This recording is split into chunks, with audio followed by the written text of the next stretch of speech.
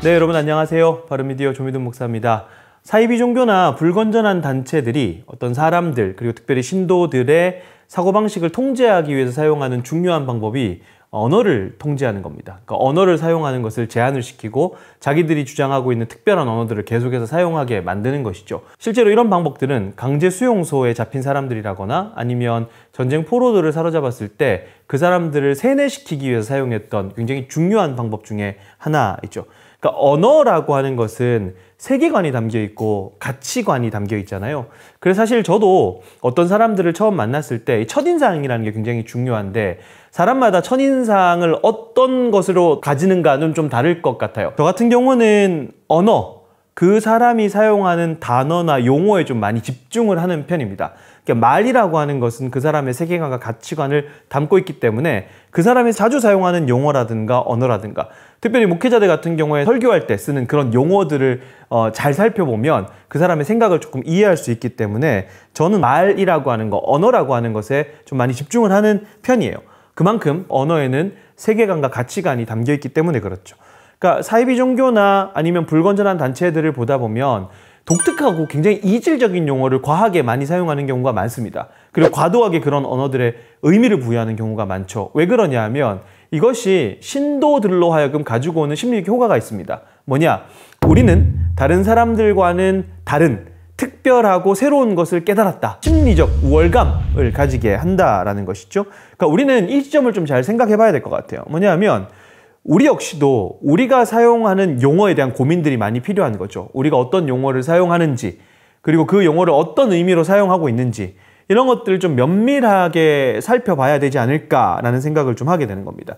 제가 이제 뭐 이런저런 단체에 대한 문의를 많이 받습니다. 특별히 뭐 유튜브를 기반해서도 워낙 많은 단체들이 있기 때문에 이 단체 괜찮은 거 맞냐, 뭐 이 단체 건강한 거 맞냐, 이 단체 이단 아니냐 이런 식으로 굉장히 많은 문의들을 받게 되는데 사실 저희도 뭐 모든 단체를 다 알 수가 없잖아요. 개별해서 산발적으로 활동하는 단체들이 워낙 많고 또 건강한 단체인데 우리가 모를 수도 있고 또 불건전한 단체인데도 뭐 전혀 어디서 누가 어떻게 활동하는지 모르기 때문에 정보가 굉장히 부족한 게 사실이거든요.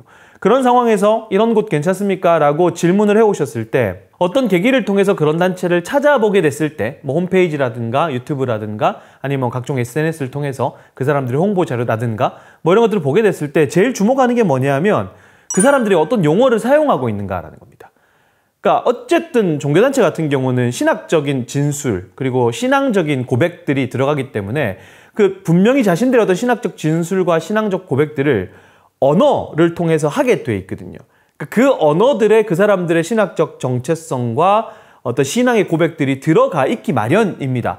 물론 의도적으로 속이기 위해서 거짓말로 막 좋은 언어들을 쓰는 것들도 있겠지만 어쨌든 그런 언어들이라고 하는 것이 그 사람들의 세계관과 가치관과 신학적 정체성과 신앙의 고백을 담고 있기 때문에 적어도 그런 언어들을 살펴보는 것은 굉장히 중요하다라고 하는 거죠.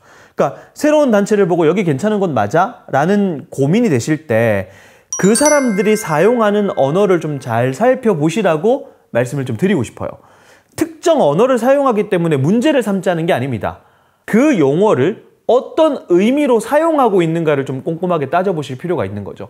그러니까 너무 쉽게 어, 이 단체 이 용어 사용하니까 문제 있어 이 개념이 아니라 그 사람들이 그런 용어를 왜 사용하고 있는지 무슨 의미로 사용하고 있는지 그리고 굳이 논란이 되는 신학적으로 논란이 되는 그런 용어들을 사용하면서까지 왜 그들의 정체성을 설명하고 있는지 이런 것들을 좀 꼼꼼히 따져봐야 되지 않을까라는 생각들을 좀 하게 되는 것이죠. 특별히 사이비 종교뿐만 아니라 뭐 이설, 이단적 주장들 뭐 그런 것들도 참 많이 있는데 그런 것들은 반드시 이제 신학적 용어들을 사용하게 돼 있죠. 그럼 그런 용어들을 잘 살펴보는 것이 분별에 좀 도움이 되지 않을까라고 생각을 하고요.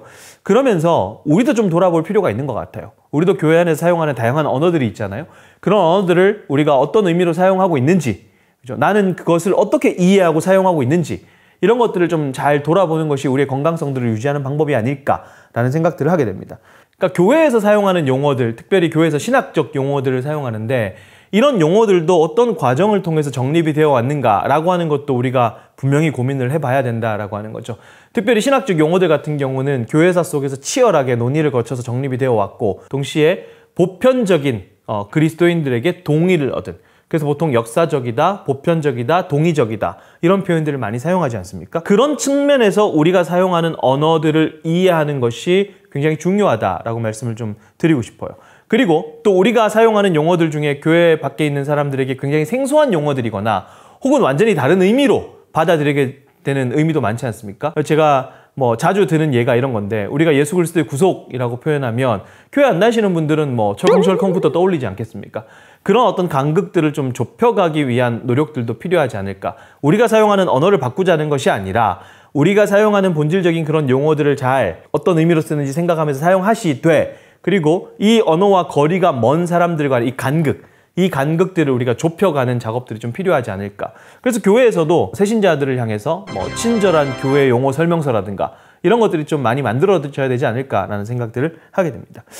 어, 제가 음악을 좀 했었거든요, 과거에. 그래서 뭐 그렇게 보이시지 않겠지만 피아노도 좀 치고 세션 활동들도 좀 했었습니다. 그런데 뭐 사실 제가 신학을 공부하게 된 계기 중에 하나가 음악을 하면서 사용하는 특별히 찬양하면서 사용하는 가사들에 대한 고민들이 참 많았기 때문에 그래요.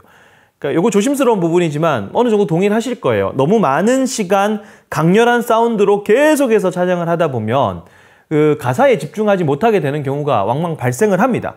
그러니까 리듬보다 중요한 건 가사인데 우리가 어느 순간 그런 리듬에 취해 있는 모습들을 발견하게 되는 것이죠.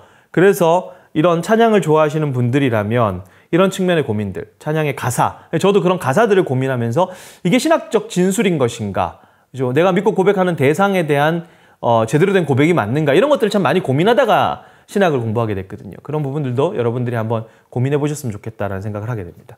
아, 교회 안에서 사용되는 특정한 단어 그리고 용어들 중에 일부는 굉장히 치열한 논의를 거쳤고 때로는 전쟁을 불사하고 목숨을 걸고 만들어진 용어들이기 때문에 이런 것들을 좀 가볍게 여기지 말고 우리의 정체성을 우리가 사용하는 그런 언어나 단어들을 통해서 좀 잘 정립해 봤으면 좋겠고요.